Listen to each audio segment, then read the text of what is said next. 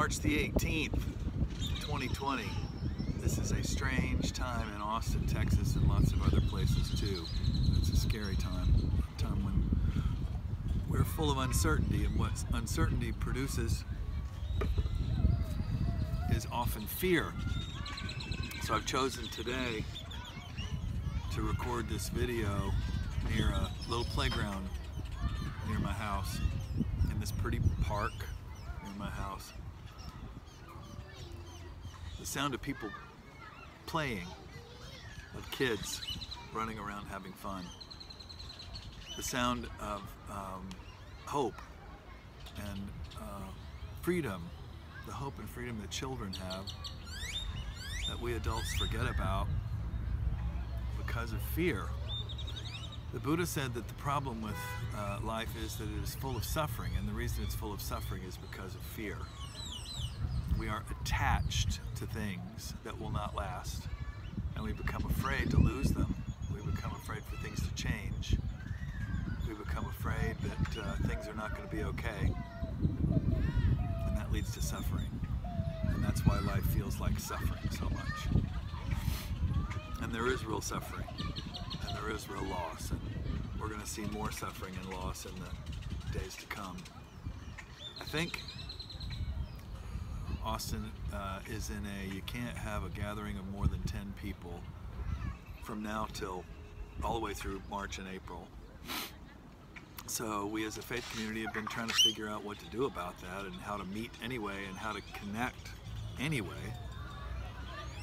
And we've had all kinds of great ideas. Who knew? we're going to stretch and we're going to grow and we're going to rethink some things, which I'm happy about. I'm rethinking some things, which I'm happy about. Jesus said that you're preoccupied with the things that don't last. But what does it do for your soul if you gain the things that don't last and you're empty inside?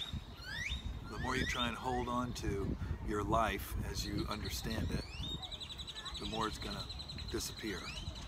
But the more you let go of it, the more the deepest life will show itself to you.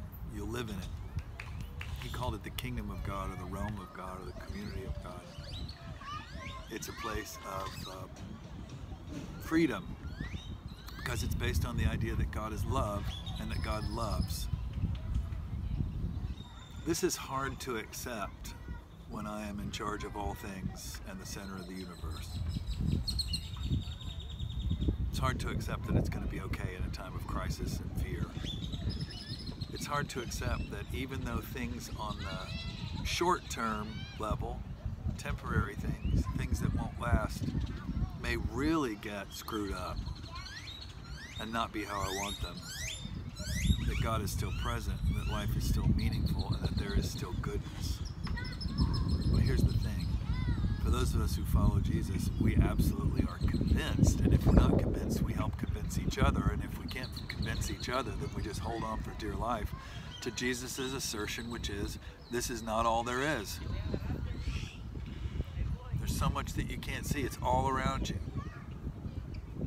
There's so much goodness, so much love. I think that some of that is going to come